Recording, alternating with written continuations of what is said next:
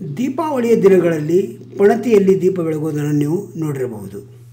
ಮನೆ ಮನೆಗಳಲ್ಲಿ ಈ ರೀತಿಯ ಪಣತಿಗಳನ್ನು ಇಟ್ಟು ದೀಪಾವಳಿ ಹಬ್ಬದ ಆನಂದವನ್ನು ಇಮ್ಮರಿಸುವ ರೂಢಿ ಬಹು ಪುರಾತನ ಕಾಲದಿಂದ ನಡೆದು ಬಂದಿದೆ.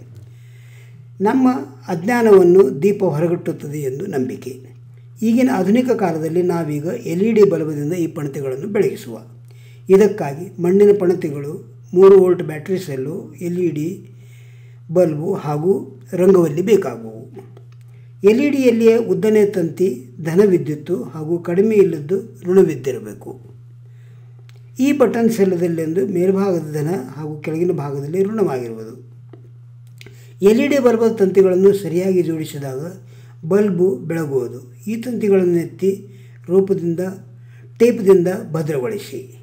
ಹಾಗೂ ಸುತ್ತಮುತ್ತಲೂ ಕೂಡ ಟೇಪ್ ಹಚ್ಚಿ ತಂತಿಗಳನ್ನು ಅಲುಗಾಡದಂತೆ ಗಟ್ಟಿ ಇಡಿ ಈ ಬೆಳಗು ಎಲ್ ಇ ಡಿ ಬಲ್ಬನ್ನು ತೊಣ ಪಣತಿಯಲ್ಲಿ ಇಡಿ.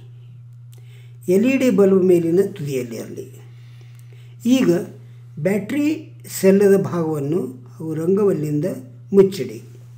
ನಮ್ಮ ಈ ದೀಪಾವಳಿಗೆ ಪಣತಿ ತಯಾರಾಯಿತು. ಇಂತಹ ಪಣತೆಗಳನ್ನು ನಾವು ಮನೆ ತುಂಬ ಇಡಬಹುದು. ಎರಡು ಸಾವಿರದ ಹದಿನೈದರ ದೀಪಾವಳಿಯ ಶುಭಾಶಯಗಳು ಎಂಬ ಸಂದೇಶವನ್ನು ಕೂಡ ನೀವು ಈ ಎಲ್ ಇ ಡಿ ಪಣತಿಗಳಿಂದ ಸಿಂಗರಿಸಬಹುದು. ಇದು ರಂಗೋಲಿ ಹಾಕಿದ ಪಣತಿಗಳು ಹಾಗೂ ಎಲ್ ಇ ಡಿ ಬಲ್ಬ್ ಕೂಡ ಇಲ್ಲಿ ಬೆಳಗುತ್ತಲಿದೆ.